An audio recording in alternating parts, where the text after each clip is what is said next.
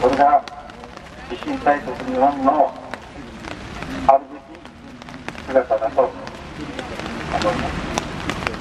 防衛省や防災庁として、えーこの会場警備の海上救難隊あるいは山岳救助隊沿岸救助隊とそのように国民の民衆の活動に対する組織に変えていくべきだただ戦いはますますしかし前進するのみで我々が目を上げなければ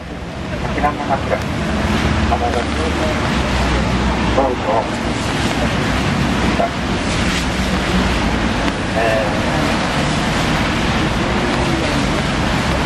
戦いの中で成功が弾圧より弾圧が友を呼ぶというなのが上白さんの言葉非常に沖縄の今の戦い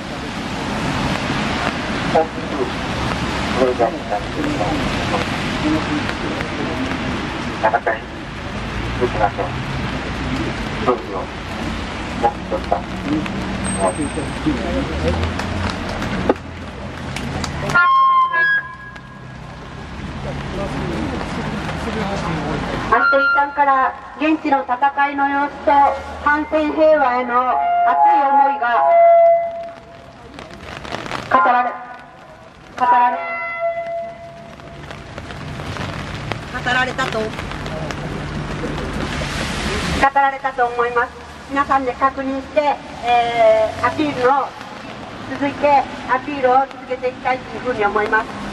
シールズ19の本山さんがいらしているので発言をいただきたいと思います。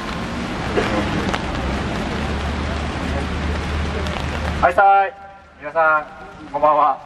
雨の中お疲れ様です。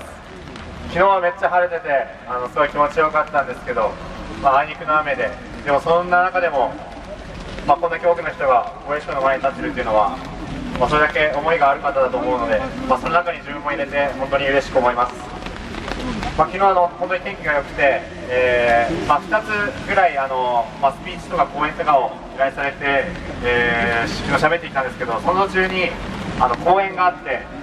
で、まあ、少年野球を小学生の子供たちがやっていました。で、まあ、それ自分もずっと小中学校高校と野球やっててあの、まあ、野球部だったので、まあ、彼らの姿を見てすごく懐かしいなと思いながら少年野球をしやってる子供たちを、まあ、ちょっと立ち止まって眺めてました。でまあ一つなんかその少年野球をしてる、まあ、小学生たちを見て、まあ、思い出してしまったのは、まあ、彼らがその東京の、まあ、東の方であの野球をやってるのと、まあ、私がまあ沖縄のその宜野湾市という場所で、まあ、野球をやってる環境の違いっていうのが私の,、まあ、の腕の中に登ってきて、まあ、それは何何だったかっていうと私が小あの野球やった時は、まあ、頭上を米軍のヘリコプターであったりあるいはジェット機が、まあ、よく通ってきました。でその度に、まあ、少年野球をやってた時の、まあ、試合とかあるいは練習が中断してせざるを得ないような状況の中で野球をやっていました、まあ、それがすごく、ま、悲しくもあり、まあ、一日でも早くそういう米軍機がの訓練がなくなってほしいと。あるいはせめてそういう小学校の上真上じゃなくてあるいは中学校の真上じゃなくて高校の真上じゃなくて他の病院とか幼稚園の真上じゃなくて、まあ、別のところに、えーを飛ぶようなしっかりそれを日本政府があるいは防衛省が申し入れをするような要請をもうこうやれというように言えるような社会になっていけばいいなというふうに思思います。で今あの沖縄では辺野古の基地建設、まあ、政府と鍵括弧付きの和解をして、えー中断されています。で今日、まあ、フロあのスパット台船が一つ撤去されたということでまあ、それはあの現場からも本当に嬉しよかったというような声も上がっています。でも、まあ、あの今回、ま、和解条項ですけど、まあ、明らかにこれは沖縄県側の勝利です。それは日本政府は和解をしたくなかったけれども、まあ、あまりにもずさんなやり方で辺野古の基地建設工事を進めていたのでその和解というものを飲まざるを得なかった状況になっていると、まあ、小長さんはこの和解をした後でも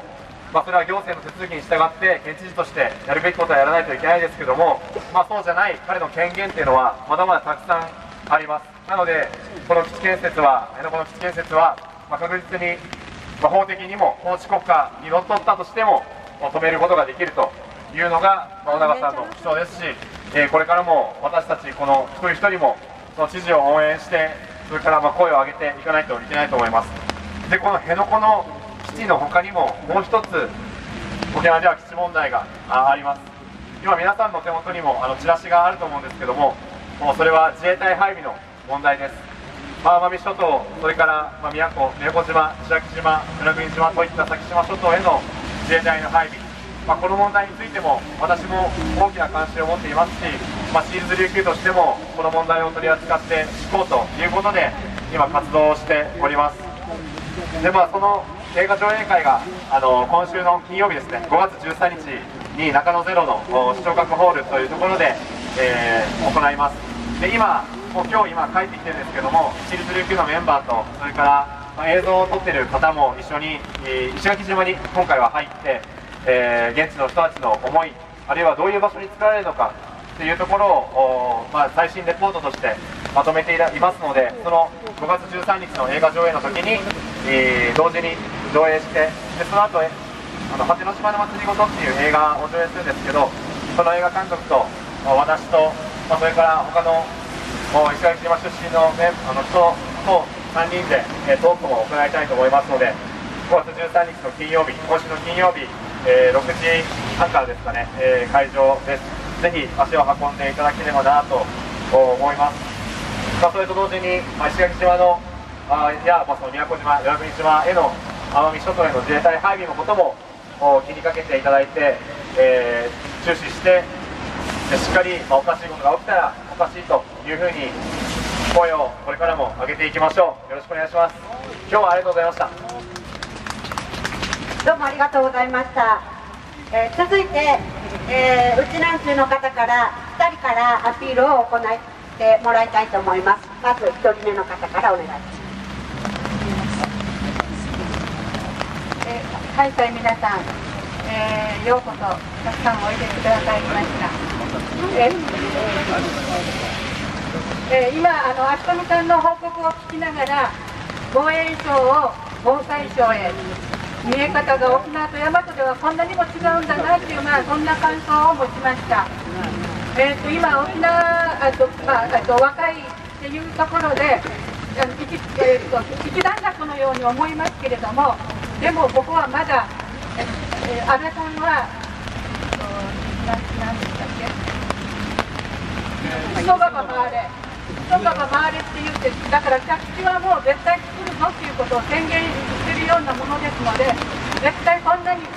それほど私たちは馬鹿にするのかと、世間が揺らんが大きいところが、まあ、そういうことだと思うんですね。でもこれは95年以降からずっと出てる問題ですけれども今大勢の山地区も現地の辺野古に行って実際に戦いの現場であの会議になっています。以前はやっぱり上から目線っていうところで大和から大勢行ってもむしろ地元のあの有人からあの人たみんな山空港でしょって昔言ってるのは山空港でしょって揶揄されることもありました。でもやっと今ここまで来て山手の人が本当本気で動き出した。20年かかってやっとここまで来たかという思いはあります。今や沖縄のあの地元の人もそういう人がおそらくいないと思います。こうなってくるとだって誰が沈むのか安倍さんが沈むしかないと思います。やっぱりここでの、えーと山区で動くっていうことが首都圏で動くっていうことがどれほど政府に衝撃を与えるかっていうのはおそらく今の状況を見ればまあさもありなんていうことだと思います。あの先ほど東風実行委員のあの皆さんもとても地域を鮮明にして首都圏でやれることをしっかりやるのだっていうそういう力強いこと。やっぱりそれが一番のあの断念に追い込む大きな力になると思うんですね。現地に駆けつけることももちろん。だけど今いるところ今いるところでいかに私たちが動くかっていうことが、えあの政府にとっての強力な、え脅威になると思います。だから私たちは、まあえー、と以前は、えー、海上時は毎週毎週月曜日ここへ来てました。今は月に1回になってますけれどもでもそれでも結構大勢の方が来てくださるしこういう交流がやっぱり一つの物事をなす時の大きなあの力になると思います。もううちなんちゅうもひるみませんのでえっ、と例えばえっ、と佐賀空港は引っ込めたのになんで沖縄はいろいろ言ってるのに引っ込めないんだっていうそういう生き物たちも多分あります。ある中でもでもやっぱり頑張る。テレビで、えっと、山の里山の風景のどかな里山の風景を見た時、えっと、年金生活者の皆さんがのどかに暮らしているのを見ると私はふといつもふるさと沖縄のことを思い出します、えー、沖縄の年金生活者いられず日中暑い中も寒い中も皆さん元気に行ってそれぞれの役割を静かに果たしてくださってますそれを見るにして私は本当に島を守ってくださるふるさとの皆さんには本当にもう頭が、えー、下がる思いがいたしますどうぞ皆さん、えー、まだトンブロックのサンゴ礁の上に乗っかったままです。ジュボンの歯跡も最近は見られないという報告もありますえ、ー、とあの海を埋め立てるなんて壮大な向こうだって小永さんもおっしゃってます尾長さんと私はほぼ同じ年代です。やっぱり彼が沖縄の歴史を破ってはいけませんと大会大和で語られる沖縄の歴史っていうのは戦艦以降72年の日本復帰以降もしくは95年の少女暴行事件の後それからの歴史がほとんど語られることが多いんですがそれ以前にどれだけのことがあったのかっていうことを尾長さんは繰り返し繰り返しそういうことの一つ一つが私はやっぱり沖縄の人たちの意識かなと思います。どうぞ皆さんまだまだ断行に断念に追い込むまでにはしばらくかかるかもしれません。どうぞ最後まで最後まで沖縄の皆さんと共にでそれが唯一日本の国を救う手立てでもあると思います。どうぞ皆さん頑張っていきましょう。はい。どうもありがとうございました。続いてもう一人の方から。お願いします。よろしくお願いします皆さんこんばんは。あ皆さんこんばんはえー、雨の中皆さんいらっしゃいましたえー、っとですねあの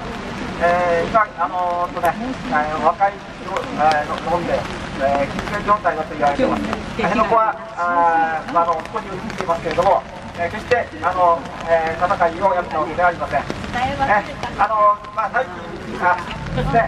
あの新しいのがですね、あのずっとましてあの皆さんね、あの現場の問題っていうと、現場の基地をですね、えー、辺野古に持ってきたというふうに、えー、なことを議論されてますけれども。えー、その時に出てくる言葉が、アメリカ、一段のを算して、えー